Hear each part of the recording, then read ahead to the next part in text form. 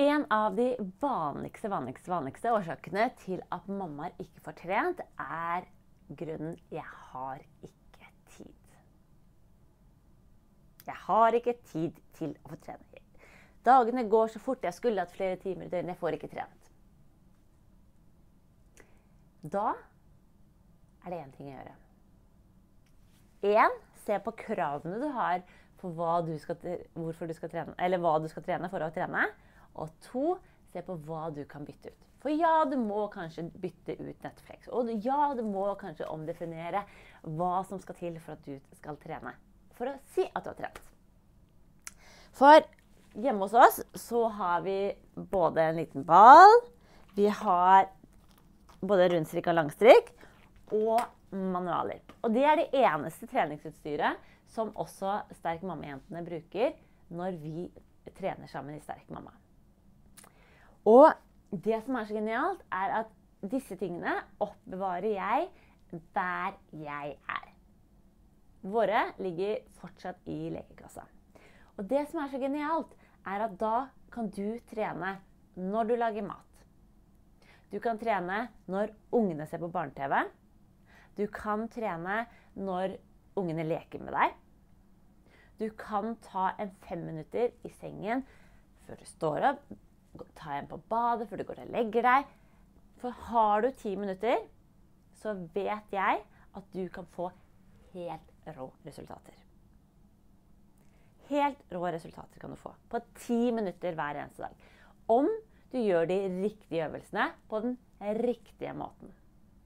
Trener du for hardt, for tidlig, med de feile øvelsene, kan du få det helt motsatte. Da kanskje er du som ender opp på den behandlingsbenken her. Men den behandlingsbenken der kan du også ende opp på om ikke du gjør noen ting. For det å bruke kroppen er det aller viktigste for at vi skal oppnå de resultatene vi ønsker. Og jeg føler på meg at du har lyst til å være både tett, du har lyst til å være sterk, du har lyst til å være smertefri, du har lyst til å være en aktiv mamma, du har lyst til å være en mamma som har energi, og som kjenner at dette her er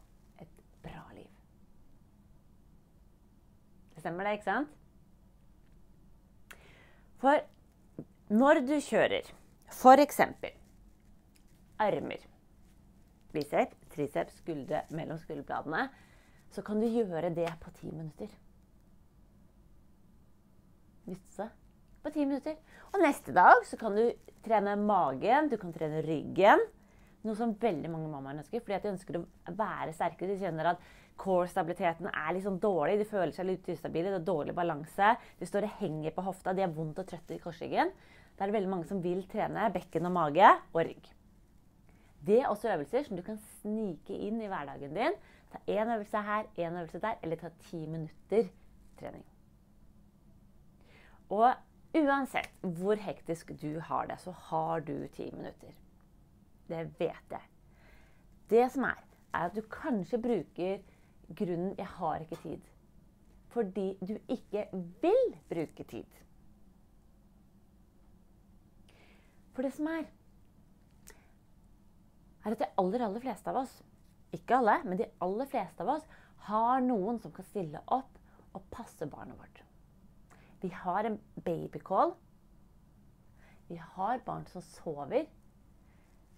Men noen ganger så velger vi å prioritere noe annet. Vi valgte å prioritere å sitte der og vente på barnet skulle sove. Istedenfor å la mannen kanskje få hjelpe deg. Du valgte kanskje å rydde av det spisebordet istedenfor å ta de ti minuttene med trening først. For det som er, er at det er veldig, veldig viktig å huske på hvorfor du skal gjøre det. Hva det vil gi deg i det lange løp. Jeg lover deg, jeg syns den sofaen er vanvittig varm og deilig og digg å sitte i på kvelden, jeg også. Men jeg vet at når jeg har fått frisk luft og jeg har fått litt fysisk aktivitet hver eneste dag, så har jeg så veldig mye mer energi neste dag. Jeg vet at jeg føler meg bedre både fysisk og psykisk når jeg har fått brukt kroppen min. Og det tror jeg er sånn for deg òg. For vi bruker vanvittig mange timer av livet vårt på å gå rundt og kjenne på ting som ikke funker. På det å kjenne seg sliten. På å ha vondt. For å være redd. Og ved at du bytter om og heller ser OK, nå skal jeg sette av disse ti minuttene. For ja, ti minutter, det holder mer enn nok. Det er faktisk 70 minutter i uka. Så vil du få noen rå resultater. Er du klar for å ta ti minutter med trening? Jeg legger igjen noen øvelser til deg her. Og så kan du ta og begynne med de nå. Ti minutter. Om så fem minutter, da. Det har du.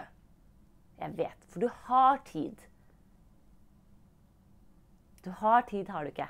Du har fem minutter til deg selv. Yes, det har du. Fordi du vil, du ønsker, du vet du trenger, og du har lyst til å oppnå de resultatene som oppnår når du gjør det. Så begynn nå, i dag. Skriv i kommentarfeltet og last ned øvelsene, og så begynner du i dag. Ingen mer unnskyldninger. Dropp det. Dette er tiden du skal investere i deg selv.